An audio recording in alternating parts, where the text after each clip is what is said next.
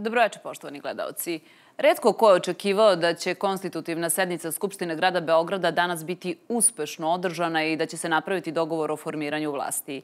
Neizvesnost je produžena i do poslednjeg trenutka ćemo čekati odluku. Krajnji zakonski rok je 3. mart i sve je moguće. I izbori, ali i dogovor. Čemu smo bliži, većini ili novom glasanju? Šta znači upozorenja opozicije da će sprečiti prekrajanje izborne volje, pa čak i svojim telima? A šta znači pritisak članstva Srpske napredne stranke da se formira vlast? Zašto se težnja ka legitimitetu izdigla nad jasnom legalnošću? O svemu ovome večeras ću razgovarati sa svojim uvaženim gostima u studiju Sijanja.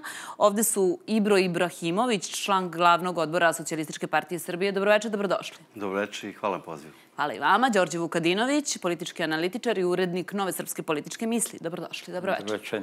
Profesor Stevica Deđanski, predsednik Centra za razvoj međunarodne saradnje Poštovanje, dobroveče. Dobroveče. E, gospodine Deđanski, zašto je Srpskoj naprednoj stranci, pored svih ovih dana, nedelja, pa i više gotovo može se reći meseci e, razmišljanja, potrebno još 48 sati da porazmisli i da saopšti svoju odluku o formiranju vlasti u Beogradu ili izlasku na nove izbore?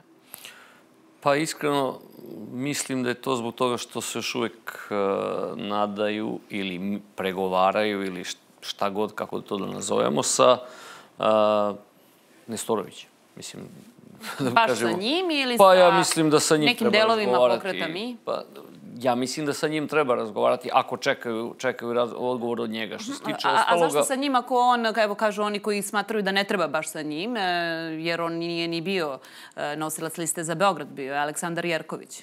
Pa slažem se, ali znate, percipiranje javnosti i uopšte glasača je bilo da glasaju za Nestorovića. Mislim da ne pričamo sad nešto drugo. To je percipiranje. Sad mi svi znamo da iza toga postoji neka mala organizacija da su dali doprinos neki drugi ljudi, ali kada razgovara s ljudima, niko ne kaže čak ni nazivu i kaže Branislav Nestorović. Pretpostavljamo da je to ideja zašto se čeka toliko da bi se video i neki njegov odgovor. Moje lično mišljenje, sad ako pitate mene, vi ste pitali zašto Srpska napredna stranka čeka, moje lično mišljenje je da uopšte ne bi trebalo da se čeka, nego da ako se ima većina, ako ima dovoljan broj odbornika, da se napravi jednostavno vlast. Jer sve ostalo je jedno ozbiljno gubljenje vremena i davanje e, municije ponovo ovoj antidržavnoj opoziciji da se opet žali nekom drugom. Pitanje je kome bi se sad žalili i koga bi zvali ko posmatrače ponovo, zato što po istraživanjima koje sam ja imao uvida, evo, gospodin Vukadinović je vjerojatno bolje reći, neće se promeniti, čak e, je u padu opozicija ako bude bio manje izlaznost, a bit će ljudima preko glave ponavljanja. Druga stvar, time ću da završim, je Znate, ako se ponovi izbori, ako budu 28. aprila, a možda budu i kasnije, ali recimo 28. aprila, pa dok se oni ovaj, eventualno ponovi neko biračko mesto, pa dok se formira uh, ponovo skupština, pa dok se formira vlast, bit će, ući ćemo u jul. Znate, praviti u sred leta uh, projekte i raditi nešto, mislim da nije realno. Mislim, I da nije dobro za građane. E sad, ako neko misli da je to sve dobro da bi se zadovoljili neke, ovaj, ne znam, legitimitet, legalitet. Vrlo jednostavno, od kad se ja bavim javnim poslom, a i nekada politikom, ako imaš dovoljan broj poslanika i odbornika, ti imaš vlast. Ah, da je to tako jednostavno, ne bismo što o ovome razgovarali, s obzirom na to da prema posljednjim e, informacijama i pregovorima Srpska napredna stranka u ovoj koaliciji sa dvoje e, poslanika pokreta mi ima tih 56, ali to je sada već pitanje, ali e, pre, pre razmatranja svega ovoga i svih opcija, zašto uh, oni traže još 48 sati razmišljanja, šta može za to vreme da se promeni? Pa to treba pisati njih na kraju krajeva. Meni malo to nalikuje na 48 sati svadba, pa kao neki reality, mislim, nastavak tog malo političkog reality, ako nisu uspeli za ovo koliko, dva i po meseca, tako, kod izbora, da se dogovore i reše i smisle, teško će sada nešto pozitivno da se smisli. Tako da to je ili politički reality, naravno, moguće da se čekao možda u posljednji trenutak neki dogovor, ali ne vjerujem da će tu promene velike biti. Dakle, e, ja mislim da uopšte nisam srećan idejom ponavljanja izbora, pogotovo ponavljanja bez promene nekih izbornih, ne samo uslova, nego više atmosfere. Jer kada je loša izborna atmosfera, nije, tu samo jedna strana kriva, ali ja mislim da ipak vlast nosi najveću odgovornost za klimu u, kojoj, u društvu, pa onda i klimu u kojoj se održavaju izbori. E, I ta klima nije, kažem, podljeno dobra. Ne ulazići sad u ove detalje i ove pri, optužbe o krađi glasova, o mešetarenju glasovima, odnosno glasačima, posebno u Beogradu, mada nije to samo u Beogradu. Dakle, ima to ozbiljnih zamerki. Ali ako sad to privremeno ostavimo po strani, onda stoji jedna druga činjenica. E, sve se ostvario je odličan rezultat, ovaj, nešto iznad i, i naše očekivanja, verovatno i njihovih, ali to nije dovoljno da se napravi većina u gradu Beogradu. To je neka činjenica koja se redko čuje u ovim, kako bih rekao, uslovnečeno provladinim medijima i televizijama. Fali malo, ali im stvarno falila dva, dva mandata, Koja dva su odbornika. oni našli? E, ali pasite, pa nije to da izgubio sam iz džepa pa traži mandate po ulici. Činjenica, i to će kolege vjerojatno reći ili neki drugi koji sad nisu u studiju, da je bivalo svega i svačega i u ranijem periodu. To nije sporno. Ali je isto tako činjenica da je ovo sad i suviše velik fokus na ove izbore i u Beograd. Čak i mimo ovih spoljnih ovaj, e, i, i analiza i, i komisija i izveštaja, koji su ipak više ili manje kritični, uglavnom više kritični na taj izborni proces. Ali kažem, čak i da je bio besprekoran, nije sjajno da vi e, namičete na takav način većinu. Jeste odbornik mm, vlasnik, ali ljudi nisu znali kao vlasnik mandata odborničkog, ali ljudi su se glasali i tu je kolega Deđanski u pravu, glasili su za Nestorovića, čak ne ni za mi glas iz naroda, a kamoli za njihovog, ne znam, nosioca listi, a kamoli za nekoga na toj listi. To možda nije dobro, ali je tako. I e, mogu vam reći da ljudi i sada čak glasaju ili sad kad pitamo ih sad za koga su, oni kažu Nestorović. Bez obzira što je on možda čak manjina kako je ispalo u toj njihovom pokretu, u toj njihovoj organizaciji. Tako da što se tiče tog legitimiteta, e, problem je da vi napravite većinu sa ljudima koji su na izborima izašli kao opozicija kao opozicija. Da ste oni rekli, recimo sad pred sledeće izbore, ako mi, celini ili u delovima, ovaj mi, kaže mi ćemo praviti sa onima koji ima više ili pravit ćemo sa, ne znam, da sada kažu nešto da su pričali posle izbora. Ne možemo nikako i ni po Ali interesantno je da je tu reč dakle, legitimitet pomenula vlast prva, a ne opozicija. Pa dobro, vlast je prva izgovorila, pa dobro, nije znam neko je prvi rekao, Vučić je vjerojatno ne pričao o tome ranije, ali ta tema legitimiteta je pomenuta i potegnuta i nakon prošlih beogradskih izbora. Čak je tada, iako je tada, budimo realni, matematička većina, kako se do nje došlo, kako god, ali većina bila na strani i za jedan, ali je bila na strani SNS-a. Bilo je pola-pola, pa onda je prevagnuo za jedan. Pa i tada Aleksandar Vučić rekao, um, jeste, mi smo pobedili, imamo više, ali je problematičan legitimitet i zato je i prihvatio, to je bio čujen dogovor razgovor sa Đilasom, sastavljen sa Đilasom, kada rekao da će se ići na nove beogradske izbore. Sada ne da ima jedan više, sad ima jedan manje, sad, sad ima jedan manje od nerešenoga. Tako da sad mu trebaju dva odbornika. Znači, bivalo je svakako i dešavalo se svakako, ali e, to nije dobro i za pozdrav tako važni izbor, nije dobro nigde ni u, sad da ne nabrajam neke male opštine da se ne urede ljudi tamo, ali nije dobro, znači nigde se to dešava. Evo da polako sada to privedemo samo, do, do, kratko samo, da, da, kratak da bi mogli... se u razgovoru. Izvinja, znači, znate, e, vi do nekle jeste u pravu, ali sa druge strane svaka politička partija koja ide na izbore, pa i Nestorović, ili kako se zovu mi, ide da bi uh, mogla da ispuni nešto od onog što su obećavali. Da bi to mogli da urade, moraju da budu deo vlasti neke vlasti koji izaberu, ne mogu kao opozicija da budu. Znači, ako su pre toga možda imali neku ambiciju da će imati možda veći rezultat pa da će se odlučivati, a ja verujem da nisu. Imali su stav da neće podržati uh, anti uh, prozapadnu opoziciju, to je bilo vrlo jasno, a za ovu isto tako su rekli da neće Ni ovu.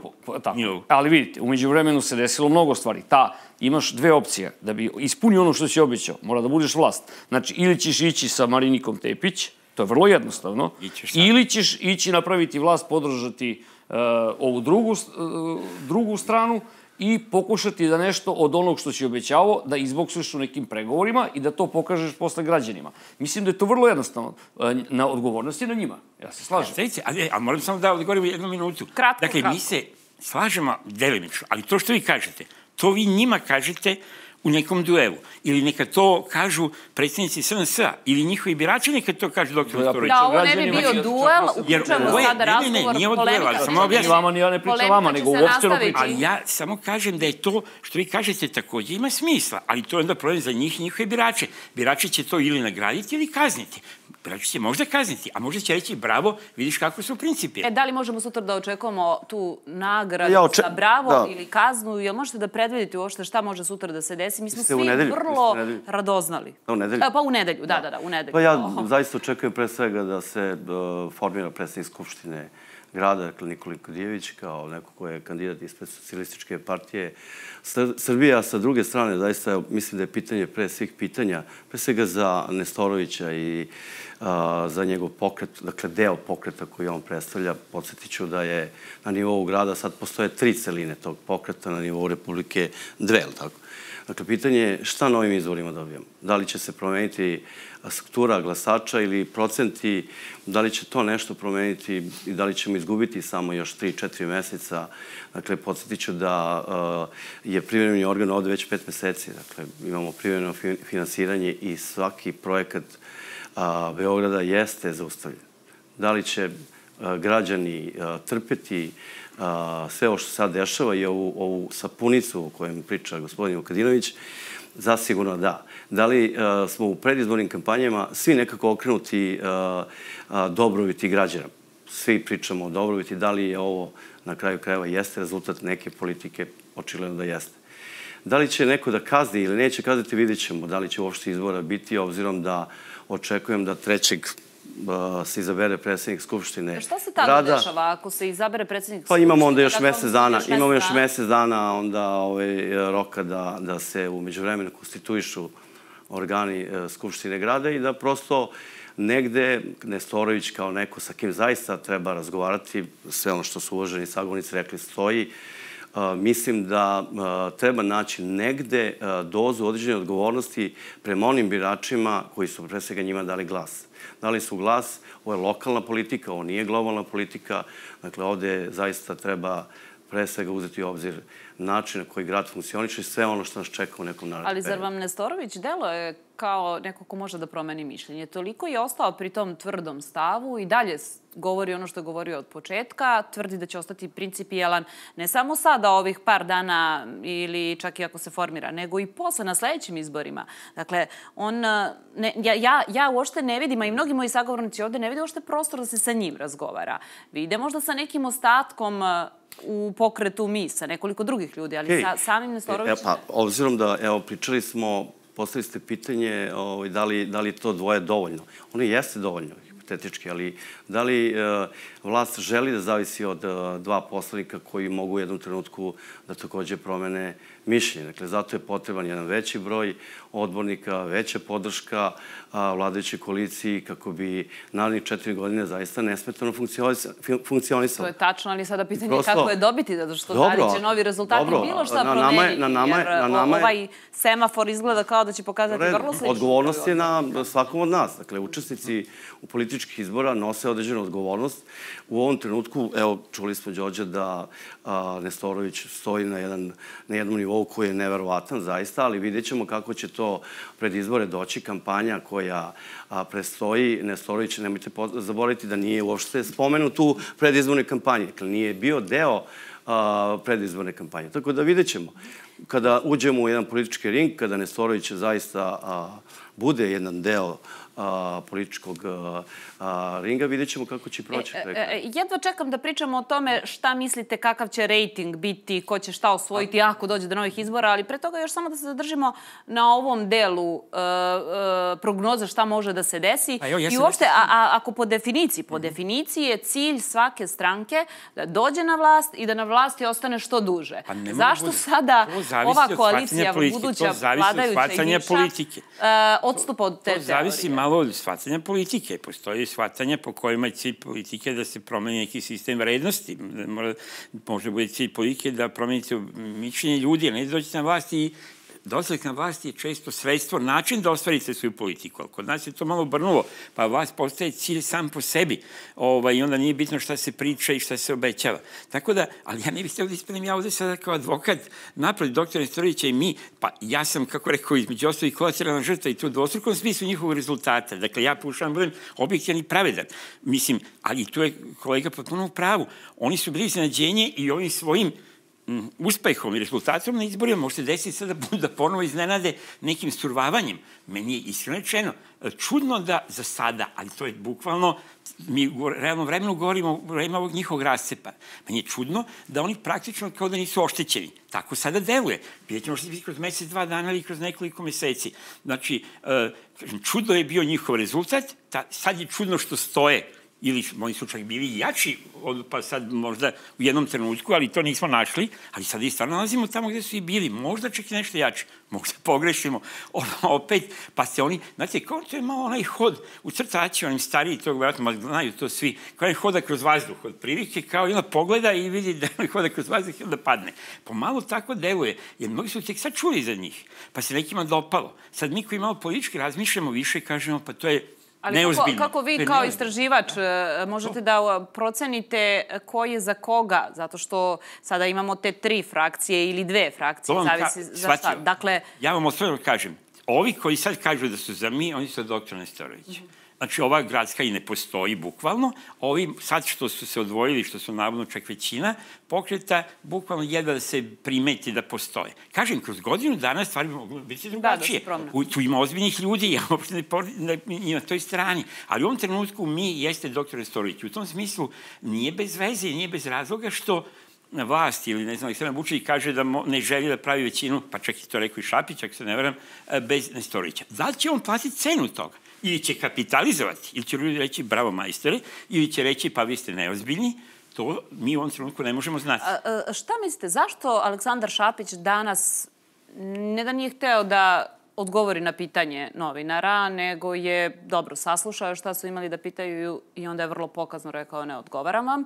I otkud je sada uh, ubacio još jednu terminologiju pored legitimiteta, rekao odlučili smo da podignemo lestvicu legitimiteta. I da li bi se ona podigla pa čak i da imaju 57 ili 58 uh, odbornika, a s obzirom na to da bi to bili odbornici isto ovi u već degradiranom, deplasiranom pokretu koji u konfuziji sam po sebi, jer uopšte jeste i kod njih može da podigne taj legitimitet, bez obzira na broj Ali koji je legitimitet onda i, ovaj, tog pokreta koji je nastupao sa jednom pričom, sa jednim ljudima posle mesec dana su se rasturili. Ako tako gledamo, to, to, idemo to onda sitna... obesmišljava sve. Pa naravno, zato, zato je poenta. Znači, ako postoji uh, zakon, a zakon je da je vlasnik mandata odbornik. Znate, možda neki odbornik pred izbore uh, bio na poziciji neću ni sa jednom ni sa drugom stranom, a onda je video posle, posle izbora paljenje Skupštine i, i, i ludilo gde nas tuže u, ovaj, u Evropskom parlamentu i traže da se osudi Srbije, da nam se uvedu sankcije i da kaže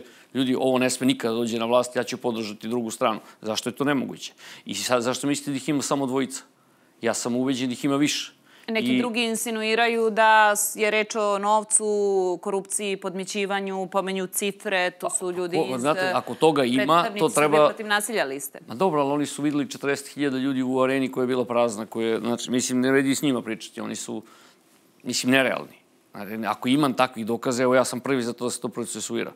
Ako ima bilo kakav konkretan primjer da je neko uzeo pare, da mu je nuđeno novac. Kraj krajeva zapisnici biračkih odbora jesu. Ne, sad o odbornicima, u ovome smo pričali, da ako, ako ima toga... Da, to je gospodin Vladimir Obradović rekao. Pa dobro, sam... rekao je... Rekao je Nestorović, ja se rekao je Nestorović. A i Nestorović je to pomenuo, dakle, taj je... Ali Nestorović je rekao to, pa je posle rekao da njemu kradu pare, a ovi kažu nisu njegove pare. Mislim, Znate, pričamo o ljudima koji pričaju svaki dan druge stvari.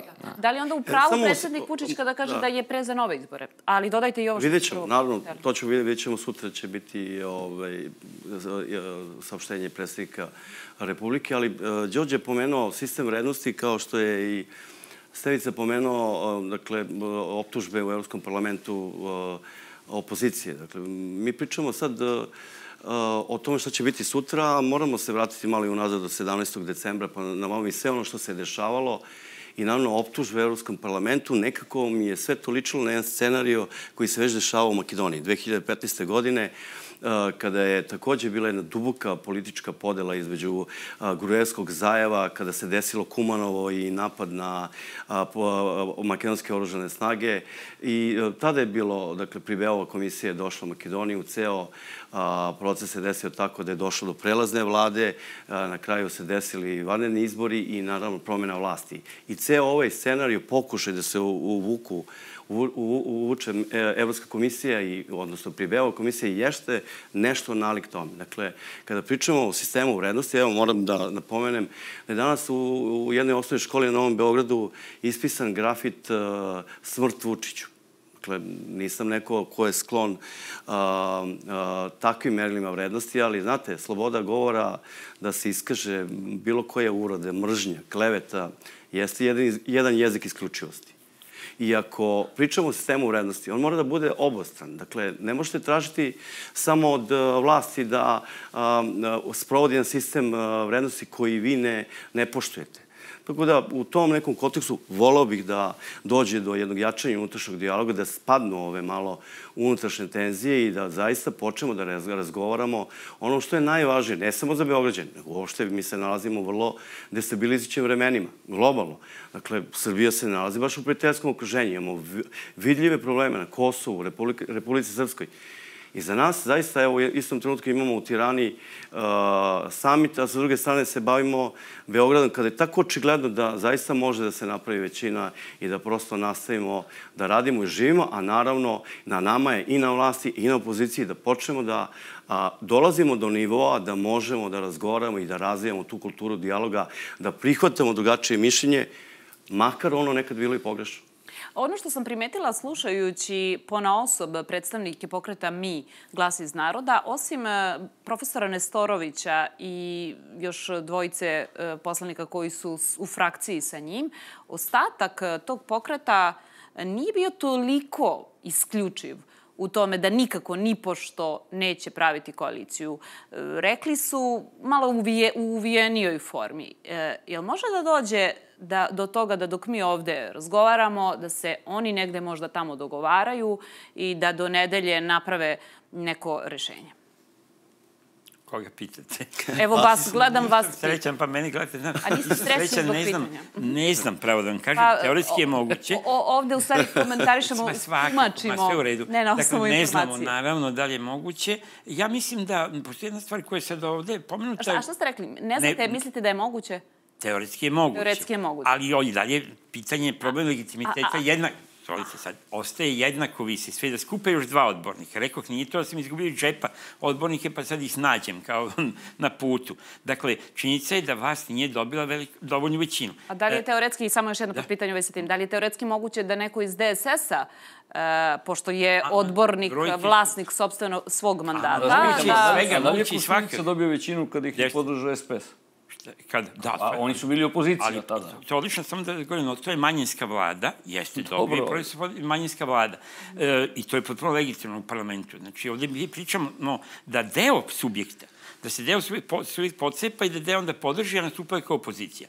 Kažem, matematički i legalistički to je, može da, da fercera, ali politički i le, sa staničnog legitimiteta to nije u redu. I znamo svi da nije u redu. Čak i da ne ulazimo u to kako se došlo i ovih brojki. Ali e, moram da se vratim ja mali korak nazad, pošto je pomenuto, evo taj makedonski slučaj i tako dalje, ja ne mislim da je to katastrofa. Mislim, da bude rečeno. Uh, i, i, bolje da vodimo, to vidim da su vaše kolege to izvukali u nekom trenutku ovde kao head u naslov, odnosno u ovaj podnaslov, uh, bolje da vodimo unutrašnji dijalog nego da nas, Tako. da zavisimo Tako, od drugih. Absolutno. E sad, pošteno govoreći, kad vas neko bije u kući, neko bije u kući, u kućane, i sad ovi traže pomoć od komšija, sad taj kaže ti si, ili maltretira u kućane, ovaj, porodično, on kaže, posle, jao, vi ste cinkaroši, vi iznosite prlja veš van, van kuće. Pa, mislim, paziti kako se ponašaš. Hoću da kažem, nije to baš tako crno-belo sad kao ovaj opozicija, a slažem se, tu ste vi u pravu, da se važe principi za jedne i za druge. Dakle, da su odgovorni jedni i za drugi. Ali, kažem, malo veća odgovornost je na onom ko je uvek jači ili ko je, ko je, kao što i dobre stvari, uvek pokupi više zasluge vas. Tako da, e, taj senka na ovim izborima. Možemo mi sad praviti se do, domišljati i vaditi, imam ja, sad nisam donao s sobom, i primere tih glasača, fantomskih adresa i bilo je tu svega i svačeg. I nije bilo areni 40.000, naravno, da nije bilo, ali jeste bilo neka vrsta centra za razruženje glasača koji nisu iz Beograda i koji nisu znali gde im je pribivalište i gde im je biračko mesto. Bivalo je toga i ne samo u areni, ne u tim brojkama, ali ovde su male igre mali brojki u pitanju kreću u Beogradu. Zato je sad fokus na Beogradu. Dakle, bolje se dogovaramo sami nego da neko drugi kroji kap. Ali ne znači da sad to onda, vas je tako mora povuče potez. Još posljednja stvar.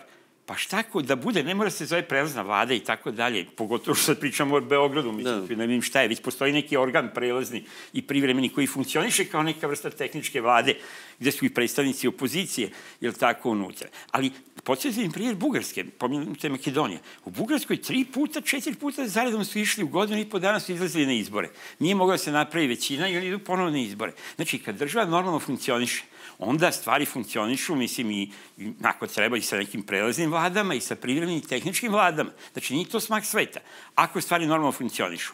A s druge strane, taj makedonski scenarij o kojem kao neko plaše, pa da, ali oni su posle napravili ovaj, vlast ovaj, koja je isto zadlakuje izgubila tadašnja vlast. U Crnoj Gori par godina ranije takođe je bila neka vrsta prelaze na osnovu privredne vlade i pobedio Boga Đukanović. Znači, nije uspelo. Hoću da vam kažem, pa i ovo kada je izgubio, izgubio je za jedan mandat. Da li shvatate taj, taj poraz veliki 30. augusta ovaj, 2020. godine je bio poraz za jedan jedini poslanički mandat. U glasima je to bilo malo drugačije, ali u mandatima je visilo od, jedan. Pa znate, Milo nije mogao da kupi. Da. A... Nije mogao, hoću da vam kažem, malo moramo da napravimo taj, nije taj legitimitet tek nešto tek tako da sad možemo tim, da kažemo koga zanima. Znači, to je, mogo i Milo da kupi. Ili je sigurno ih hteo, pa niko nije hteo da proda. Da, ali ne govorimo, ne govorimo o kupovini, govorimo, znači, uopšte se ne, ne, ne pričamo o tome, nego govorimo o tome da politička partija koja je izašla na izbore da bi nešto uradila, ima deo kod njih koji kažu mi nećemo ni sa kim zato što, ne znam, neće da nauka osvedoči da je zemlja ravna ploča i mi ne volimo nikog, ni opoziciju, ni poziciju, ali ovaj, ima deo ljudi koji kaže, e, ja neću tako, hoću nešto da se uradi. Pa može postoje više varijacije, ja ne znam da li može to i zakonski, ali mislim da može. Znači da daju većinu, to je u redu. Druga varijanta da kaže, ok, podržavamo većinu u Beogradu za takve i takve programe i iznesu ono što hoće da se urade. I onda kaže, zbog toga ulazimo u vlast. Znači, tražimo da se to... Ako to ne budu radili, mi izlazimo. Evo, jedno Sve veče, je bolje. baš to gost predložio uh, znači, nekome iz Suštinska je priča projekat. Da, znači, vidite, sve, sve je bolje nego izgubiti celu godinu. I drugo, ajde idemo, da, da, da idemo ovako. Vi, percepcija sad ovde u našoj priči, da je opozicija, ne znam šta, možda će izaći, pobediti, probati... A gledajte ovako... A možda i neće. A možda i neće, ali pazite, to, i to je sve u redu. Možda hoće, možda neće. Ali gledajte, sad krenemo izbore, koje, mi sad imamo izbore i imamo određen broj odbornika koji su izabrani. A, I oni mogu da sklope većinu. I to je, možda se nekom sviđa, možda se ne sviđa, možda neko sumnja, možda ne sumnja, ali u principu a, a, izabrani su glasujemo naroda. Zamislite sada, mi krećemo ponovo u izbore i dođe Analena Berbok i Tanja Fajon i kaže o njihovim ovde nema ni izađete na izbore. A zašto predsednik Vučić kaže da je on za izbore? Ja ne znam zašto kaže.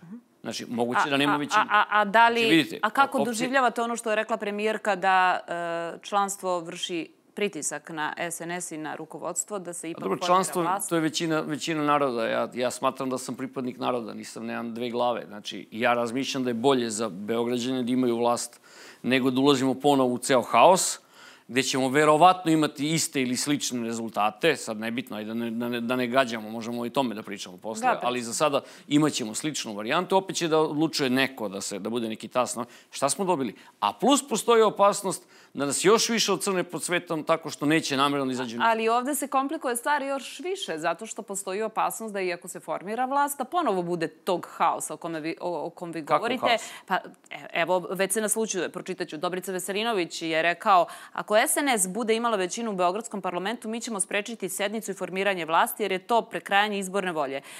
Pa sad dalje, 50 odbornika je jedna ozbiljna i fizička sila koja bi dostojanstveno uh, mogla da pokaže svoju snagu u sali. Ako SNS ima većinu, mi ćemo svojim telima pokazati da se s tim ne slažemo. Imamo artiljeriju, ali u demokratskom smislu. Jel vam ovo sluti sada na potencijalni da. haos, iako dođe do tog dogovora za većinu? Izuzetno se slažu reči artiljerija i demokratija su onako spojene i baš vidimo da je to negde sto prave vrednosti demokratske koje Dobrica nudi.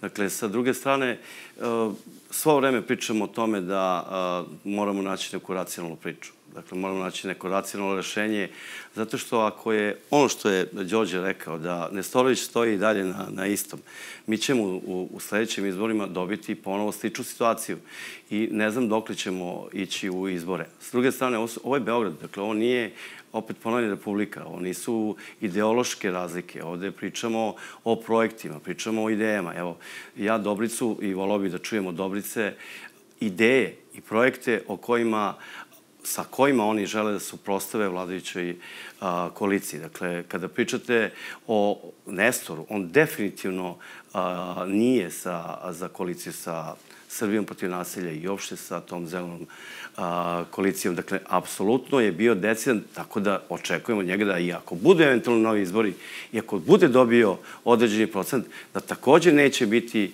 a, sa njima. Šta će to promeniti da a, onda odluči da bude sa vladajućem koalicijom. toliko sigurni da, je, da novi DSS neće ipak da se odluči na formiranje ako sada saberu ove uh, odbornike sa listom Srbija protiv nasilja?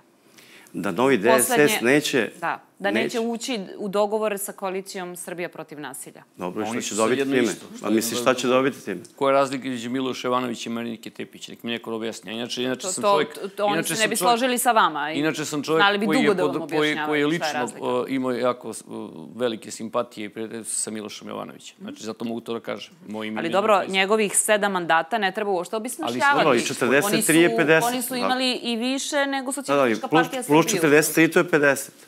Dakle, opet fale... Uh, opet fali šest Nestorovića. Nestorović. Za koje je pitanje Svaki... uopšte šta i da dođe do novih izbora, da li će ih ono... Sa druge strane, i ovoj konstrukciji da bude tih šest Nestorovića, to je 56. Da li mislite da vlast možete držati na 56 odbornika? Pričamo o kvorumu.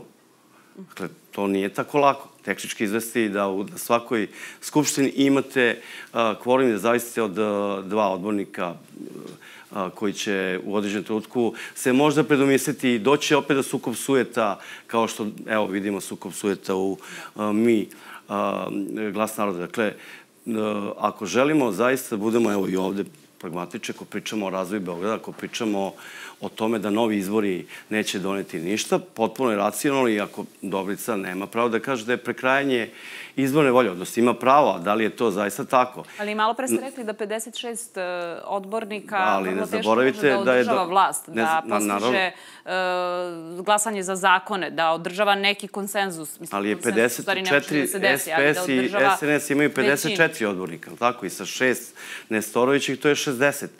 A, pritom, zaboravljamo da je najveći broj glasova i najveći broj odbornika dobila Srpska napredna stranka. Ja, zaboravljate da je ona ta koja je dominantno, o, dominantna u Beogradu i da ona ta ima pravo da ponudi sa kim će praviti vlast. S jedne Uopšte ne zaboravljam. Evo, pročitat ćemo sada e, Odlično. za one koji su možda zaboravili. E, u ovom trenutku, ne u ovom trenutku, nego to je ono što je Semafor pokazao još 17. decembra. 49 mandata ima lista Beograd ne sme da stane, 43 Srbija protiv nasilja, 7 DSS Nada za Beograd, mi 6, ko zna kuda su sada otišli, Ivica Dačić e, pet. E, to sada uvodi u priču, ako se raspišu novi izbori, ako se sve ponovi, šta bi moglo da se promeni? Ko bi ovde ostao sličan, ko bi išao gore, ko bi padao?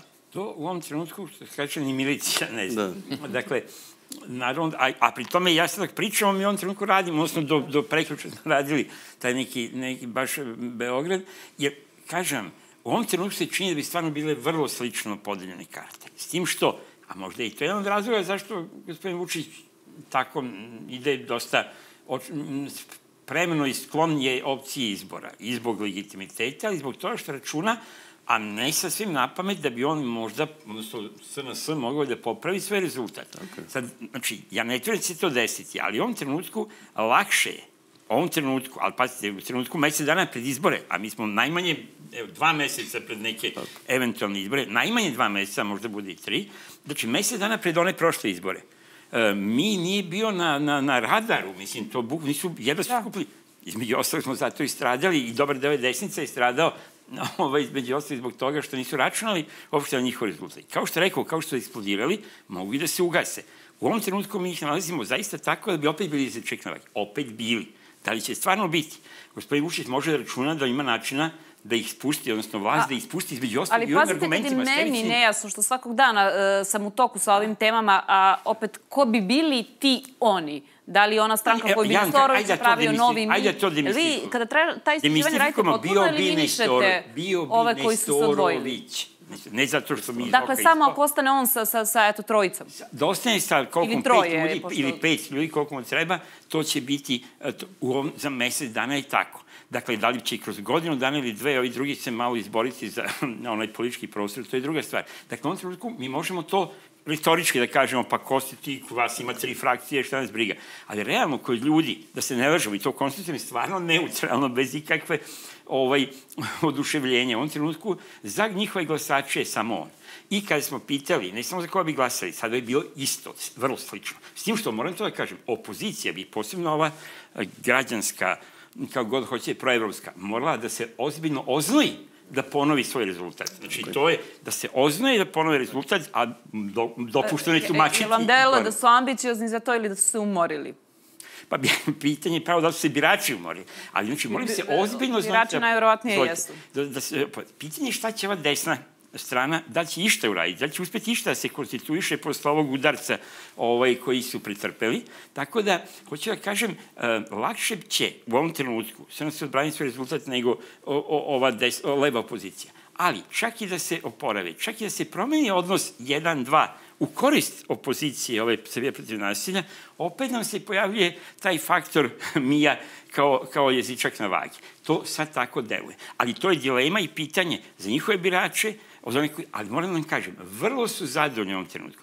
Kada pitamo sledeće pitanje, i to je jako interesantno i tu bojim se da nema greške, tu nema. Za dobro se ljudi kolebaju, ali kada pitaš da li ćete glasati isto ili, razli, ili možda različito nego na prošlim izborima. E sad, kod, evo, to je sad, da kažem, ogromna većina, 90% plus SNS kaže da će glasati isto. Uh, ovi svi drugi, SPS i Srbija protiv nasilja, vrlo visok procenat, ali ipak malo manje kaže da će glasati isto, a kažu možda drugačije. A Nestor- desnica? katastrofa. katastrofa, ali Nestorović je birači što je interesantno. Uprkos tome što se dešava u ovom trenutku taj raspad, njihovi birači kažu malo manje, ali 80% kaže da će glasati isto. Znači 80% je reklo i tih mijovi glasača će glasati isto i to sigurno isto, a 15% kažu možda drugačije. Tako da za sada oni veruju Nestoroviću. Da li će tako biti kroz mesec, dva dana, da li će možda ovakva pitanja, primetbe, prozivke, eto sad što je ovde ovaj, Stevica uradio i neki drugi legitimno to mogu da kažu, možda pokolebati te birače. Ali u ovom trenutku oni kažu kako kaže Nestorović. Mhm. A što se tiče datuma, pominje se 21. april i 28. april. Da li su vam ti datumi izvesni ako se bude odlučilo da se ide na te izbore?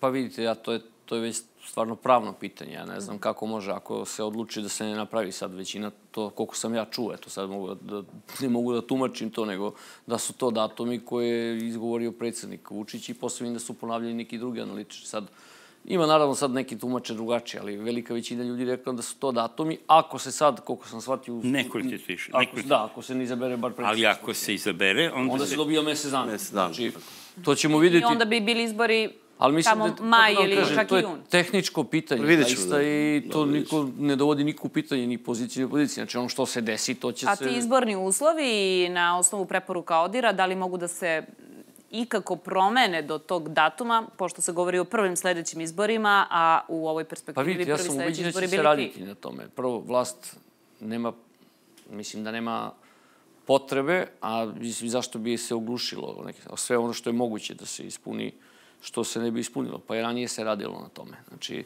meni to nekad malo već i, malo već i dosadna ta priča o biračkom spisku. Znate, 25 godina svi pričaju o nekom biračkom spisku. Pre tri godine se, se, se pričalo, to je bila glavna tema, ali za te tri godine niko nije kontrolisao ako misli da tamo ima nešto, a on je otvoren, svako može da ga pogleda. Znači, e, puno puta se stvari koriste zbog političke borbe, ne zbog nekog efekta. Svako može da ga pogleda, samo e, vlast može da ga sredi i dovede u red. Pa da li, može se nađe neka nepravilnost pa da se to kaže, znate, ali mora bi neko da se bavi time. Nije dovoljno samo kad prođe izbori i imaš loš rezultat da kažeš nije bilo dobro. Pa valjda će se na osnovu ovih preporuka neko baviti. Ali to je već bilo, pre, pričali smo o tome Da, to- istom to pre tri godine, to ću da vam kažem. I, I neke stvari su usvojene. Sad ja ne znam, stvarno, pročitao sam taj iz, izveštaj Odira i komentarišemo ga dva dana, pa zbog toga sam ga i pročitao ovaj, detaljno. Vrlo eksplicitno kaže šta je promenjeno, koliko stvari je promenjeno, koliko nije, šta bi bilo dobro da se uradi. Kada se govori o medijskim slobodama, pošto se te hvataju tamo, vidim da apostrofiran i Nova, Nova S i N1, da to je jedine televizije u svetu gde ne možeš da platiš reklamu ako nisi pripadnik njihove političke partije. Znate, mislim, svi kritikuju jedni drugi, ali pitanje je sad i realno. Šta može za dva meseca da se promeni? Ajde i to da budemo realni. E, i zato ja kažem, šta ako se desi? Da mi sad sve ovo pravimo zbog, ne znam, nečega i onda opozicija, da bi napnela još veću štetu građanima, ne ode na izbore. Znači, uđe u izbornu kampanju i povuče se. I šta onda? O čemu će onda da pričamo? Kome će onda da se žale? Šta će onda da traže? Da nas bombarduju još malo, ko što su nekad tražili. To je malo preterivanje. Moram kreći, to je malo, malo preterivanje. Ali da li je moguće? Sve moguće, padne meteorit, da sve pobije sve da u da studiju. Da li vi mislite da to ne bi bilo moguće? Pa ne, ali zato, zato je važna atmosfera na početku, u prvoj česti. Slažem se, ali u ovoj situaciji. atmosferu. Slažem se ja s vama. Znači, ja sam poslednja deca koja će pasti u nesve zato što neka evropska institucija od Evropskog parlamenta dodira nešto, nešto kaže. Ali kažem da smo mi se, koliko toliko ovde nalazi zajednički jezik u na, ovoj našoj kući, ne bi se oni imali priliku tako da se mešaju. U ovom trenutku, na kraju kreva, pa i Milošević su dolazili, Gonzales je dolazio, mislim i tako dalje, jer to je bila isto jedna flagrantna i očigledna duše providna i često komična krađa ovaj, izbora. Na kraju je Milošević prihvatio e, te rezultate kao neki kompromis. Đorđe, ovaj, kad je, sada mi isto, ja ne kažem da isto, ali samo ovdje ustajem. Ali vi ste s pravom rekli jednu rečenicu, malo čas možda to gledalci nisu očili, pa šta, samo vlast može ozbiljno da interveniše u tom biračkom spisku. Znači, ako je zbilja bilo, a ima takvih ozbiljnih indicija, to sad nije, ima pretjerivanje, nije sporno, ali da neko dođe iz nekog, nije to, opet je poličan fokus na Republiku Srpsku, iz nekog drugog grada, nije važno da li je iz Srbije, iz unutrašnjosti, ili je, iz, iz Republike Srpske, i dobije fiktivno prebivalište i adresu u Beogradu i glasa na lokalnim izborima to onda nije da mi smo protiv braće, moje braće sa one strane Drine. Ja, ja vrlo podržavam braće sa druge strane Drine, ali ne može brat sa druge strane Drine da bira gradonačelnika Beograda ili Novog Sada. Kao što ja ne biram na Sokocu i Loparima ili ne znam u Banja Luci gradonačelnika. A toga je bilo. Da li je to bilo 41? Ja ne znam, čini mi se to prevelika cifra. Ali svejedno, bilo je sigurno dovoljno da može u mandat dva ili procenat dva da promeni odnose. Ali ono što je jako važno, koliko god bio taj procenat, on nije mogao bez stapanja vlasti i e, i vladajuće stranke. Znači, izgubila se granica između institucija države, na primjer MUPA, jer to je neko u MUP-u morao da odradi, da dobiju ta, ti ljudi dobiju ta lična karta i prebivalište. I to je nešto što smo naša vlast i država trebalo da interveniše i da spreči, a bivalo je toga. Koliko, kažem, ponavljam, ne znam, da bi to promenilo rezultate, verovatno bi do nekle, možda ne bi, opet bi mi, odluč, opet bi mi odlučivao, Nestorović, ali bi bilo ipak drugačije. Možda ne bi falilo Ja sam fantomski birač na neki način. Evo, ja živim, ja sam u Vršcu, prebivalište mi u Vršcu, osam godina živim u Beogradu. Ja sad kad odem da glasam na lokalni izbor u Vršcu, oni će kažu ti živiš u Beogradu, Ovaj, zašto glasaš u Vršcu? Više se ne, ne živiš tu. A da, sam, a, a da sam pribacio ovde, hoćete. onda bi mi rekli, pa ti si vršćani, šta ćeš ovde? A nije, znate, mislim, to, je... Do, dobra je to dosetka, nije to sve tačno. Ali znate gde vam, gde vam je adrese u Beogradu i znate gde vam je, pri, gde vam je prebivalište? Znaju gde je svakom Pa ne znaju, ovaj sad to su skupljali što nisu znali neki gde im je prebivalište. Mislim, a, a, a, postoje li izbori, neki izbori uh, koji su bili unazad da nisu bili posle izbora a, e, identičan predmet a, takve vrste manipulacije i traženje izlaza u tome da su izgubili da, postoje, da su izgubili postoje i to je u periodu ajde kažemo, vlade Vojislava Koštunice i čak i Borisa Tadića. Su bili izbori, nisu možda bili savršeni, ali su prihvatali rezultate i kada su gubili te rezultate, taj Koštunica, pa čak i taj Tadić. Da li... I to je mali, da, da. mala razlika, ali suštinska razlika koja je tad bila. Eto. Ali uh, i sad se vrlo dobro zna ko je dobio izbore. Dakle, pa na Republici u Baru se ne zna baš. Pa na Republici da, ali se... Da nije rekao, Đelo, se ispravite mi, ja da. možda, možda grešim, ali koliko znam, da je pred izbore e, rekao, samo ne mogu setim kom zvaničniku i to je objavljeno, mislim, nije sad, da neće priznati rezultate izbora, kakve oni budu bile. I, to stvarno ne znam. I, ovaj, pošto su, to sigurno nije značilo kad bi oni pobedili. Mislim, onda bi priznali. Ali s obzirom da nisu, oni sad prave, i ovo je upravo ovaj, kolega, Znači, posle svakih izbora sad imamo neko rušenje, neko, neko paljenje protest. Ja ne razumem to više, iskreno da vam kažem. Ja mislim da ni građani ne razume. I da. zašto to pričam? Uh, ja, ja nisam politički, nisam član nijedne stranke. Bio sam nekada davno, ali više nisam, tako da pričam, ovaj, pokušavam da budem realan, ne uspevam nekad, pošto realno podržavam Aleksandra Vučića, mislim, stoji to, ali pokušavam da budem realan, jer nemam obavezu stranačko da pričam o tome, da, da, da se držim kao, kao pijan plota, što se kaže neče. Ali, ako mi ponovo izađemo na izbore, I na tim izborima, ok, desi se ovako, kao što vi kažete. Ja sam sklon da verujem da je sve ovo tačno. Ali, ali ja, a ja dopuštam se to sve promeni kroz mesec ali, dana, ali u ovom trenutku... Znaš šta će desiti? U ovom trenutku ovo to, zaista... To je otprilike to. Zaista to tako deluje. Da. da, da ovaj, šta mi u stvari dobijamo? Bilo ko od nas. Sem što možemo da upadnemo u novi problem, ako opozicija vidi A i ona će da vidi, znate, oni imaju istraživače javnog mnjenja, vidjet će da su u nekom padu 1%, 3%, 7%, vidjet će oni to. I onda procene, nama se ne isplati da idemo, Jer kako da objasnimo tek onda zašto smo izgubili toliko kad smo sve ovo uradili i tražili ponovo i povuku se iz izbornog procesa. Odlično ste. Pitam da ne ispadne... Jedna rečenica. A evo vam onda razloga za dogovor. Onda napravite okrugli sto dijalog vlasti i opozicije, pa se dogovorite oko minimumu. Pa Pritom, ali tako. Pa znate da neće se. E, kažite, gospodine Ibrahimović. Svakak... Čekajte, bili su razgovori na FPNO kada je Milan Antonijević odao. Tako, bili su razgovori.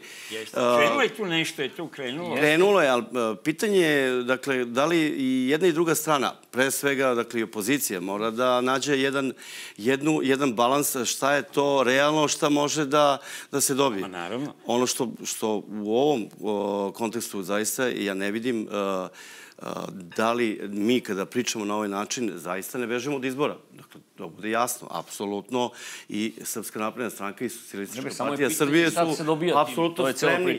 Pitanje odgovornosti i zrelosti, dakle, pre svega na nama kao na vladićoj koaliciji, jeste da predočimo građanima zašto se ponovo ide na izbore. I to treba jasno reći. Dakle, šta ćemo dobiti u novim izborima? I to je pitanje, evo za mi, glas iz naroda, šta je njihova ideja Beograda, kako oni vide Beograd za godinu, dve, tri, pet. Volio bi da čujem to od mi, glas iz naroda, volio bi da to čujem i od Srbija protiv naselja. Dakle, da vidimo kako oni vide Beograd za 5, 10, 15 godina. Dakle, to, to je ono što mene interesuje.